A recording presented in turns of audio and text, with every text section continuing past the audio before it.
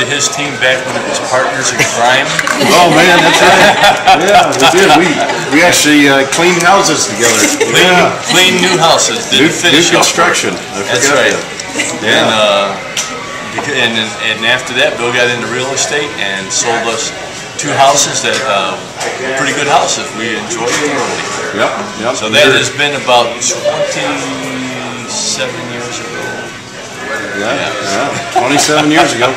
Yep. We've been, uh, we've And been, we're still friends. yeah.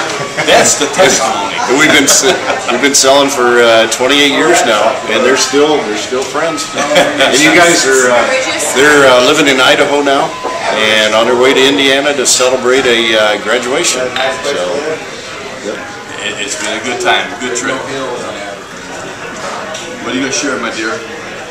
Oh, I was saying, the first house we bought, he sold us, it was fifteen percent interest way back when. And 15% could- interest. He could get you a better deal today. And, and we are, came out right on that one. that's right. And we are down the street from that first house. The first house was on Fifty-fourth Street. Yep, 54 We just had off in the center. Yeah, yeah, that's right. So it's been a good, been a good ride.